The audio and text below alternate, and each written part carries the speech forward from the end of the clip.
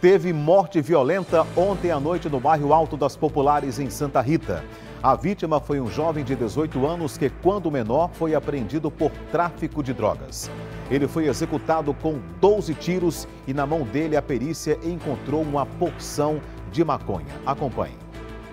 Ao chegarmos no local, constatamos um jovem ao solo que foi reconhecido como Ramon Braz e o mesmo foi confirmado, de fato, o óbito pela equipe do SAMU, pela VTR-02.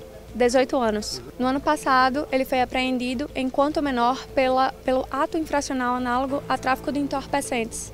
A informação que ele seria de outra localidade, nenhum parente esteve no local, apenas uma conhecida.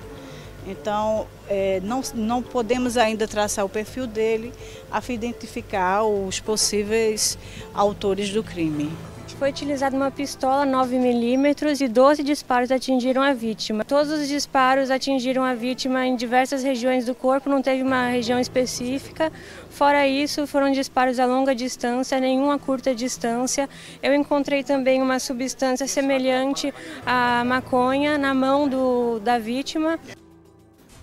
É, minha gente, é o poder destruidor desse produto maldito que é a droga, né? Só traz dor e sofrimento, e, em muitos casos, a morte.